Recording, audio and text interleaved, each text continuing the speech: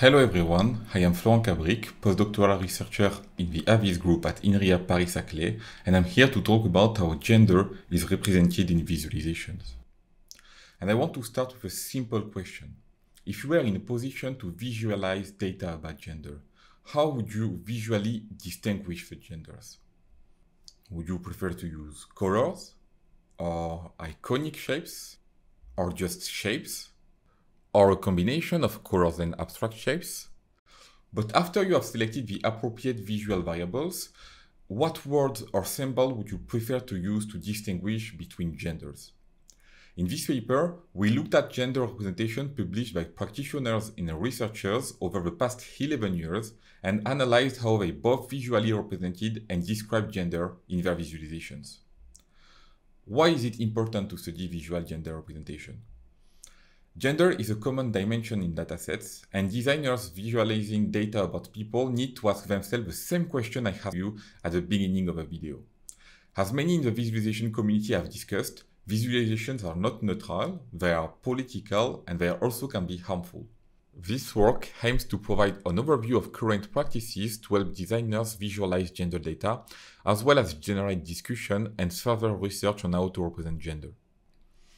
Our contribution with this work is threefold. First, we provide a set of scientific figures representing human gender data. Second, we analyze scientific and public-facing visualization in terms of their use of visual variables and their use of language.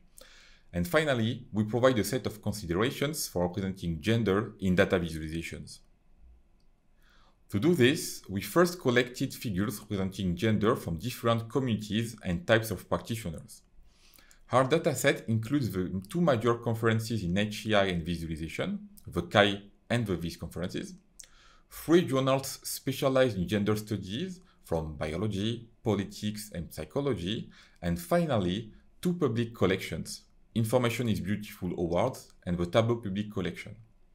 In total, we collected over 50,000 data visualization, and after filtering, 2,122 images were selected and then coded. Six people coded the images, two undergraduate students and four authors of this paper. Each image from the 2122 was coded by two coders, and if the coders disagreed, a third coder was involved. To help coders and, uh, and collect data, we developed an online tool that you can see in the video now. In short, in this tool, coders selected whether or not a visual variable is used to distinguish gender in the visualization except for color and shapes, which require a detailed selection as you can see in the video now. Of the 2,122 visualizations, 904 visualizations were relevant, and due to some refinement, we used only 673 visualizations for the analysis. But before we begin to present our results, I would like to add a brief note. In the following, we will discuss gender by comparing only women and men.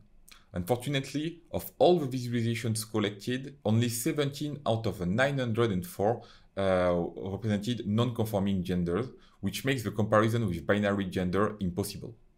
Nevertheless, details about each non-conforming gender representation are present in the paper. For example, the visualization on the left represents male, females, and non-binary gender using three colors, the green, the orange, and a gray. The visualization on the right represents typical biological females and males, described as 46XXF or 46XYM in red and blue color, and three categories of intersex people in brown, purple, and dark blue colors. We analyzed the more than 600 images coded for both visual elements and text. The results of the scientific and public-facing visualizations are quite similar in terms of both visual variables and language use. For the sake of conciseness, we present only the result from scientific visualizations. When we look at how scientists represent gender, our analysis shows that scientists tend to use only one visual channel to distinguish gender. By far, color is the preferred visual channel, followed closely by position.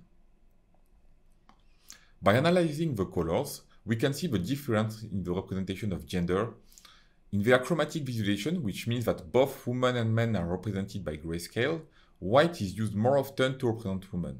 and black and gray are used more often to represent men. In addition, when women were rendered in gray, men were rarely rendered in white.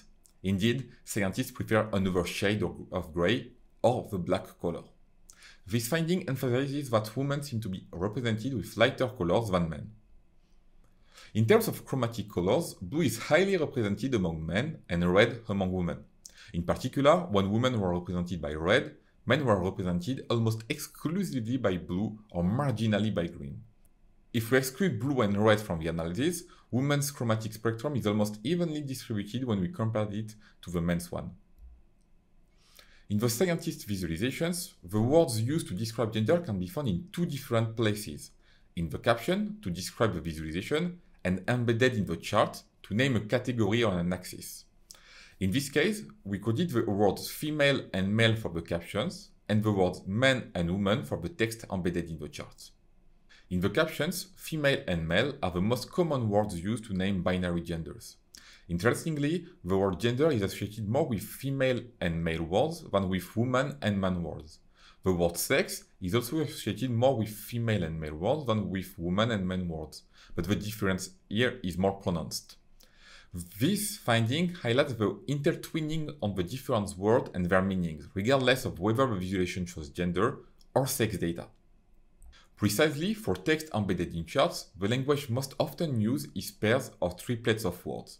The researchers prefer to use the female-male pair rather than the woman-man pair. A detailed analysis by research area or time period is provided in the paper. After presenting some results, what do we recommend in terms of gender visualization? We found few visualizations representing gender non-conforming data, assuming that the data underlying the visualization we analyzed is a representative sample of the population. It is likely that some gender non-conforming individuals have been hidden by the binary data collection. When possible, adopting inclusive tools, such as the forms provided by Sherman et al. in their paper, allows for better representation of all people, both binary and non-binary. Another tool by Beischel et al. allows participants to define the different dimensions of their gender identity by placing one or more dots on the circular chart. According to our review, red and blue are scientists' favorite color when it comes to representing gender data especially when it comes to women and men. This finding provides a new evidence that gender color stereotypes exist, even in data visualization.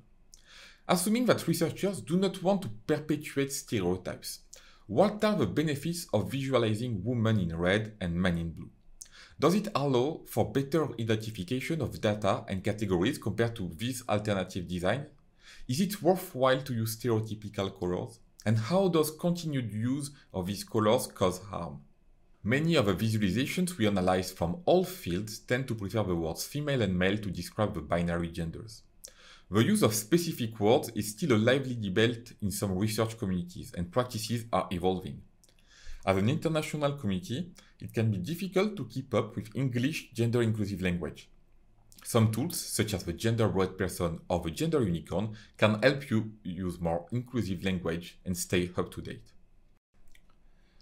We found very few visualizations in our dataset that included non-conforming genders. Now, assuming we did our own study, we followed the best practices and collected such non-conforming gender data. How should we represent it? It is likely that the sample size of the gender non-conforming people will be much smaller than that of women and men. However, designing data visualization that do not dwarf or hypervisibilize gender non-conforming people is challenging. One strategy might be to extend previous research on different scales or focus plus context, such as the cutout charts. For example, in this visualization inspired by Statistics Canada, non-binary and transgender people are both first associated with cisgender in the same charts, but also magnified in another chart. Our work is a part of an ongoing discussions about the ethics and inclusiveness of research practices. We hope that our work will stimulate discussion and further research on how best to represent gender. Thanks for watching this video. If you have any question, come to my talk at VIS 2023 or contact me by email.